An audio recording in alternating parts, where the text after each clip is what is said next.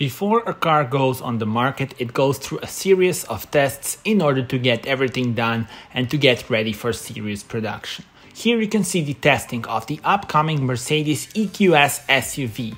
It's the all-electric SUV that will be revealed in less than a month from now. Soon we will know more details, but for now it is known that it will be the third model based on the Mercedes-Benz dedicated electric vehicle architecture. The interior has already been revealed with the new Hyperscreen and stay tuned for the full reveal very soon.